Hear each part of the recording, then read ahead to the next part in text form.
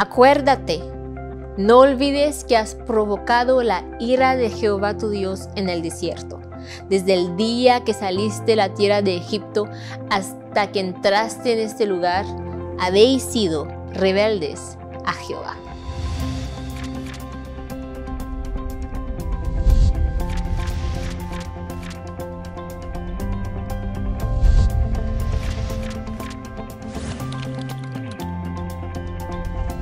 Hola, ¿qué tal? Bienvenidos a este repaso de, de, lección. Estamos ya en el número 10, así es que, y hoy se titula Acuérdate, no olvides. Pero bueno, también quiero saludar aquí a mis compañeros y amigos, a, a Fernando, Misael, a Gaby, y quisiera hacerles una pregunta que va un poquito con lo que es este tema. ¿Qué, ¿Qué pasajes se saben de memoria? Con pasaje me refiero no a un solo versículo, sino a algo que tenga más, no sé, dos, tres o más versículos. Yo voy a comenzar y pues me, me sé el, el, Salmo 120, ¿no? Fernando. A mí mi favorito es Eclesiastés capítulo 3, todo tiene su tiempo. Me sé ese pasaje de todo tiene su tiempo. Ah, perfecto. Gracias. Yo desde pequeñito aprendí el Salmo 23, fue algo que lo fui repitiendo y hasta ahorita todos los versículos se me quedó en la mente y ya no los puedo olvidar. Amén, qué bueno. ¿Y Gaby? Pues soy Gabriela Domínguez y a mí me pasó lo contrario, yo iba a decir todo lo contrario. Para un camporí de guías me aprendí el Salmos 19 y ya lo olvidé.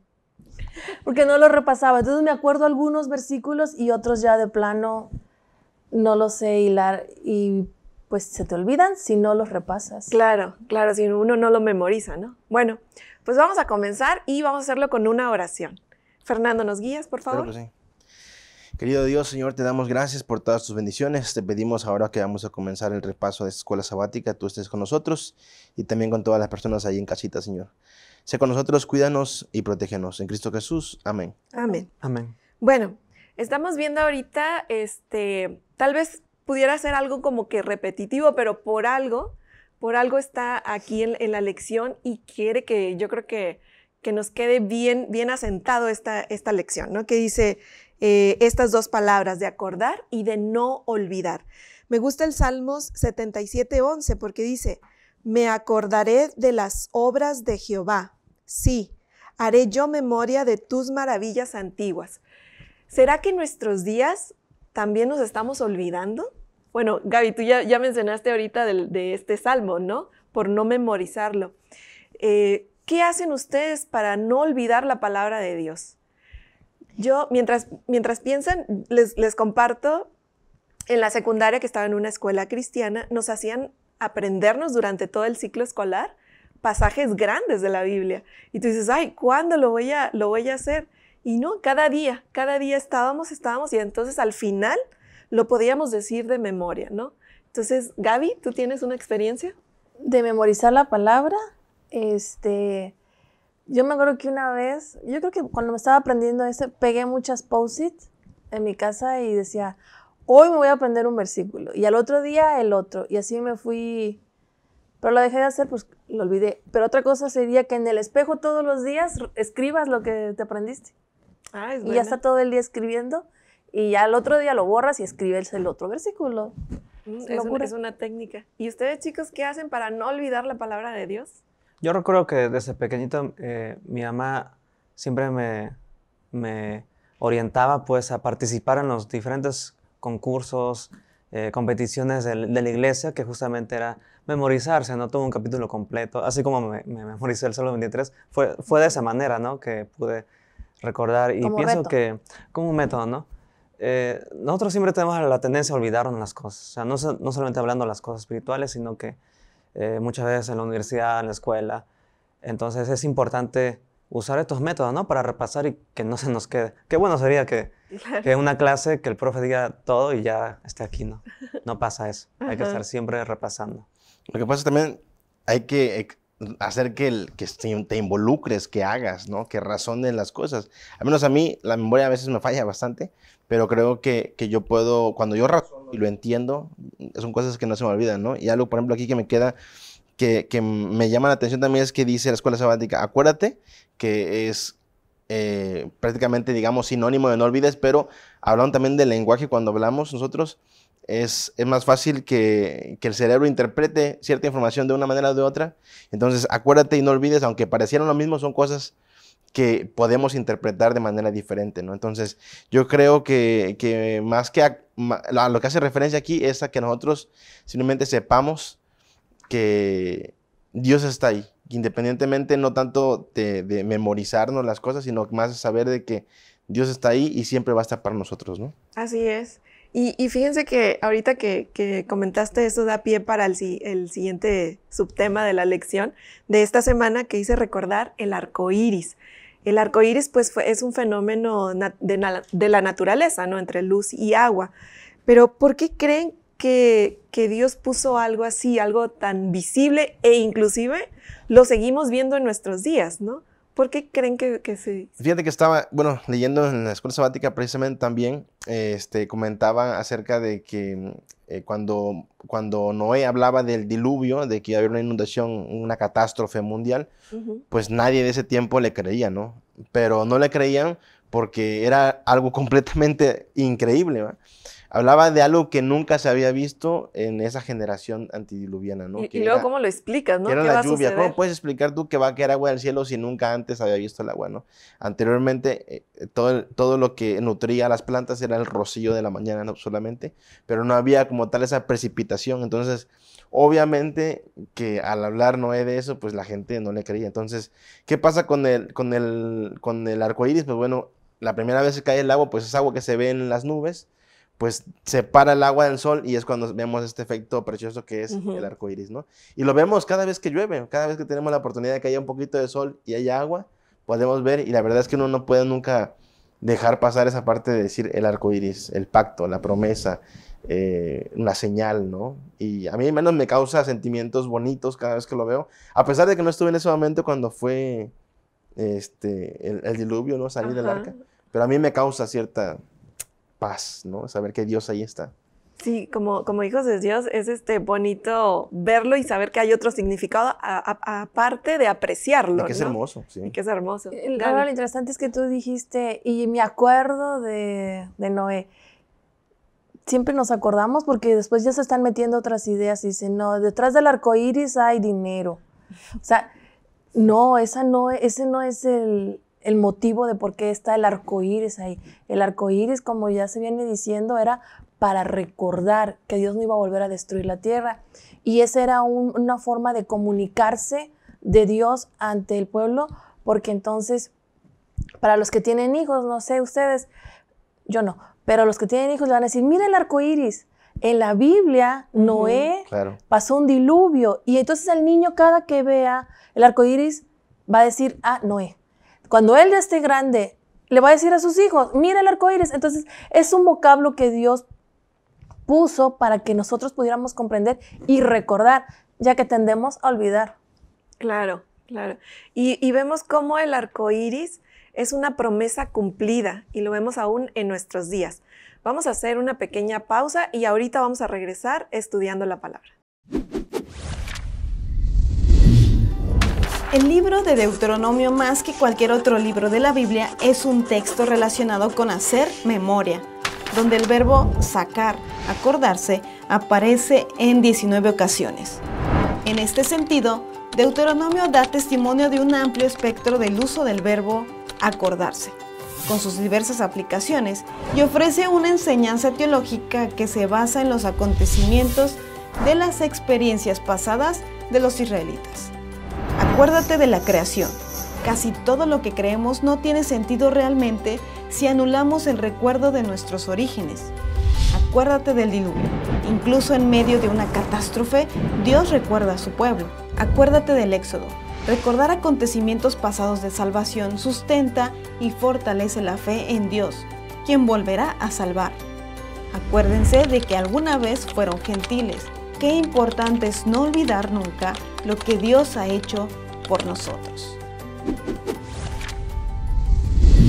Gracias por estar nuevamente con nosotros aquí en este estudio. Y bueno, eh, nos quedamos, eh, estábamos hablando acerca de esa promesa que Dios dio en el cielo, que era el arco iris.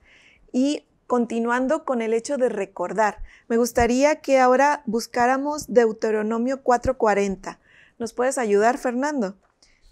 Y, y, pensando en esta, en esta pregunta, ¿a qué conclusión quería Moisés que el pueblo eh, eh, comprendiera, ¿no?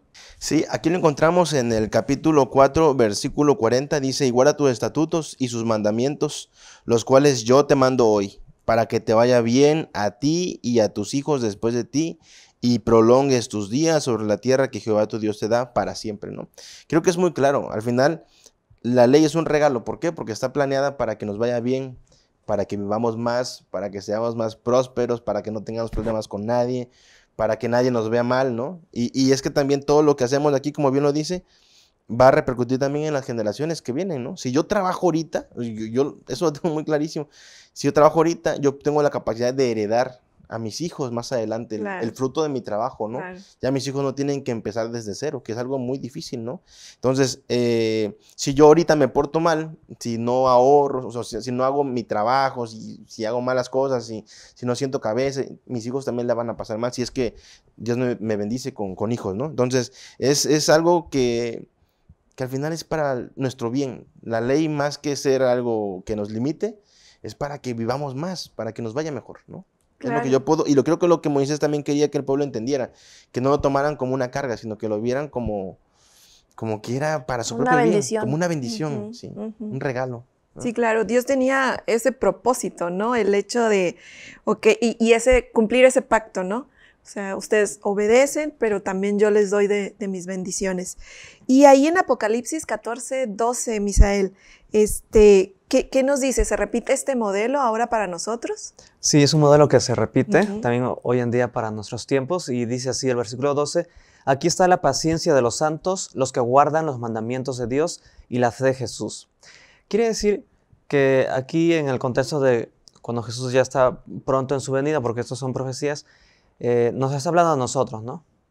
Que debemos de estar esperando en esa espera y nosotros, eh, entendiendo que estamos ansiados ¿no? de ver el pronto regreso de Jesús, acá nos pide que guardemos los mandamientos de Dios y la fe de Jesús, o sea, que, creamos, ¿no? que creamos en Dios. Y eso también se repite para nuestros tiempos, no solamente para el pueblo de, de, Moisés en esos tiempos que leyó Fer, sino también para nosotros en nuestros tiempos. Claro, y, y, y, eso debemos de ponerlo en práctica, ¿no? El hecho de, de recordar y como decías tú, el hecho de decirle, a los hijos y a otras generaciones, ¿no? Hay otro tema que, nos está hablando enseguida la lección y que habla de la palabra guardar. Pero guárdate para que no te olvides, es el título. Gaby, ¿nos podrías decir un poquito este contexto de esta palabra de guardar? Sí, mira, este, vamos otra vez a la Biblia, aquí en Deuteronomios 4, 9.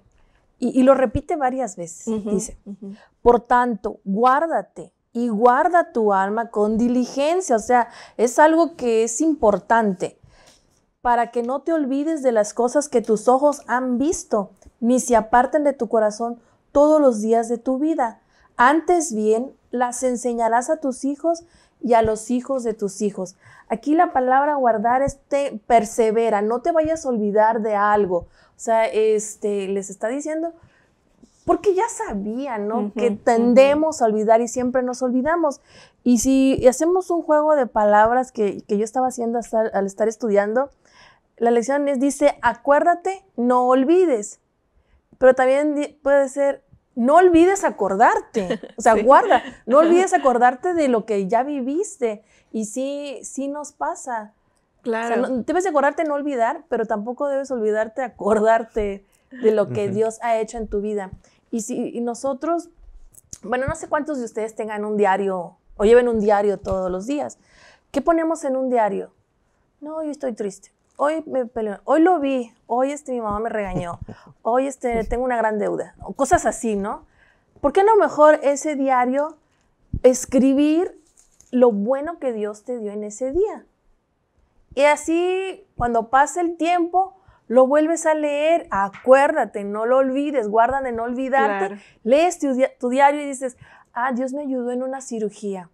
O en el momento en que no pasaba un tren, un camión, estaba todo muy oscuro, sus ángeles estaban cuidándome y no me pasó nada. Son cosas, pueden ser muy sencillas o como pueden salvarte de una enfermedad muy grave, debemos describirlo porque se nos olvida. ¿O a poco ustedes se acuerdan de todas las maravillas que Dios ha hecho en su vida? Nos olvidamos muy fácil. Es lo malo, que nos olvidamos. Y cuando estamos ante una situación, pues ya, esto está muy complicado, ¿no? Esto está muy difícil.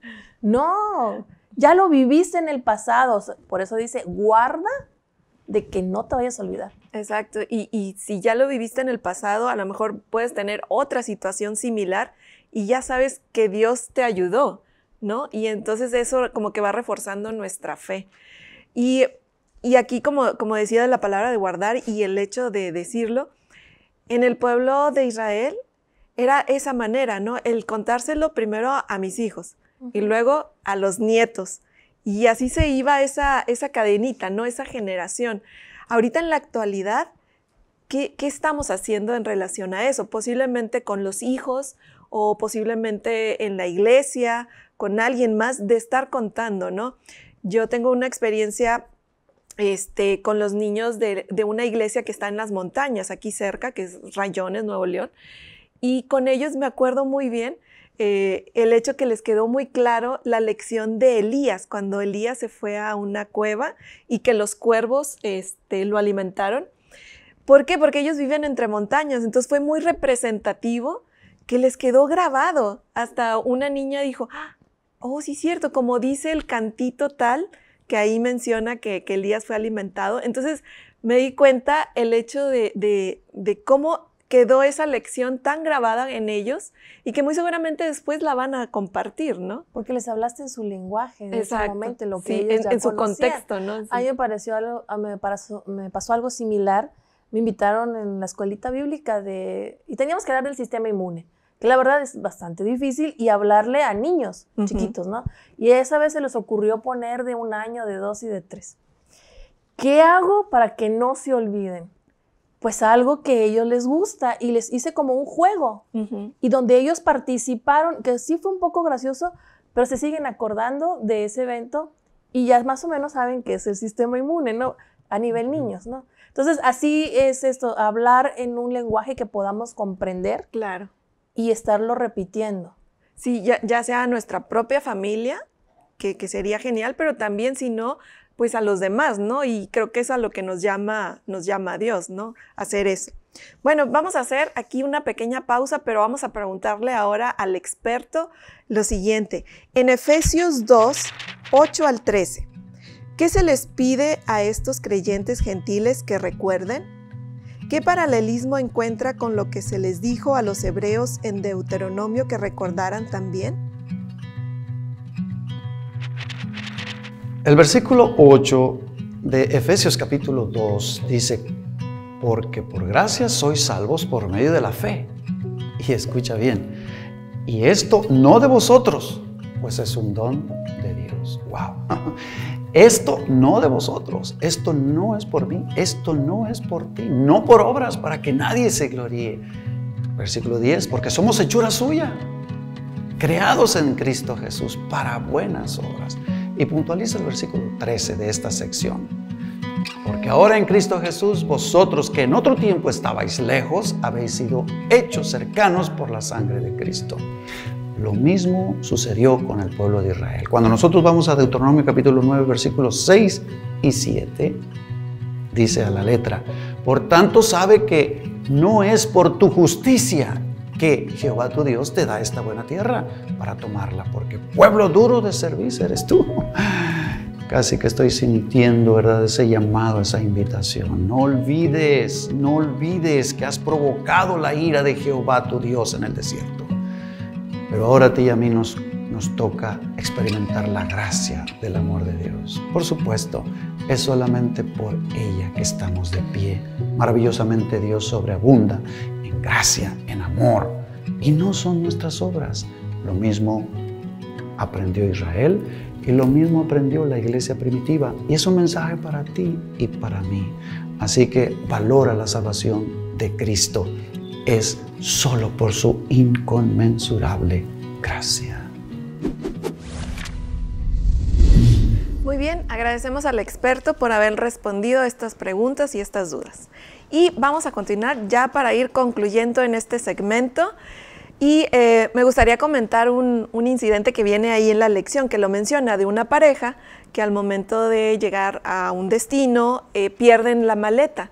Y entonces lo primerito que hacen ahí mismo en el aeropuerto fue hincarse y orar, ¿no? Porque apareciera esta, esta maleta y bueno. Pero pasó una segunda vez que no aparecía su maleta y saben, ahí ya no oraron. Ahí lo que, lo que dijeron, no, no te preocupes, al cabo el seguro cubre la maleta. ¿Qué lección podemos aprender de esto? Sí, mira, eh, a nosotros se, nos olvida las maravillas que Dios hace, ¿no? Entonces, como bueno, Él siempre está pendiente de nosotros, sí está pendiente, pero debemos nosotros conectarnos con Él. Esta pareja, pues decía, ya va a aparecer, confió más en el humano. Y yo tengo una experiencia algo parecida. A ver. Eh, una vez, este Venía manejando y en un alto, yo no tuve la culpa, fue el otro que no aceleró y entonces yo le di un pequeño llegue atrás. Y ya después estaban ahí preocupados los de adelante, pero pues no, no era fuerte, estábamos en alto. Y mi reacción fue, ah, sí, ahorita llega mi seguro, adiós. No me preocupé, no hice nada, ni oré, dije, ay, ya les golpeé, nada. Cuando en otras ocasiones, pues uno va orando, no quiero golpear, no quiero chocar, no quiero nada.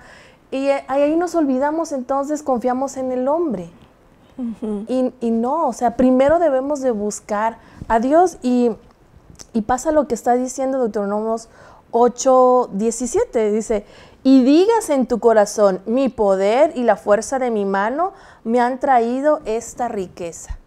Entonces ya te olvidas de que Dios fue el que te dio la sabiduría, Dios te dio el trabajo, la salud para poder hacer esos trabajos y ganar ese dinero. Y, empieza el yo, ¿no? Ajá, empieza el yo. Yo soy muy inteligente y por mi, yo pagué mi seguro y que él se haga cargo, ¿no?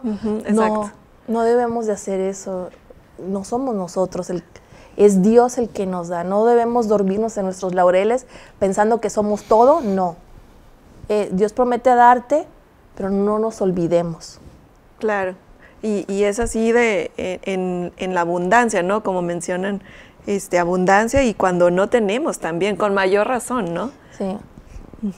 Y fíjate, Gaby, que yo tengo una experiencia muy similar a la tuya. La semana pasada estuve hablando con una persona que no cree en Dios y tal vez digamos que no, no tiene bienes materiales, ¿no? Que lo hayan alejado de Dios, pero él tiene sus propias creencias y pensamientos.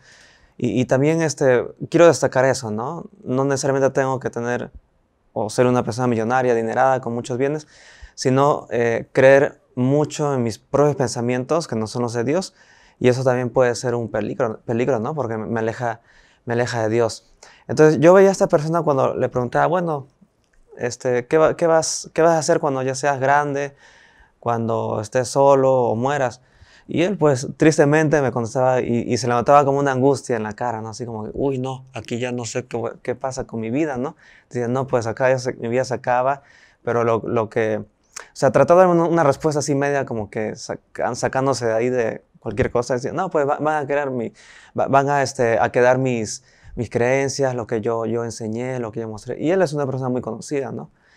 Entonces, este, eso quiero aquí rescatar que nuestros propios pensamientos pueden ser este, como posesiones, ¿no? Que yo esté muy eh, ligado a eso y no necesariamente a, algún bien material.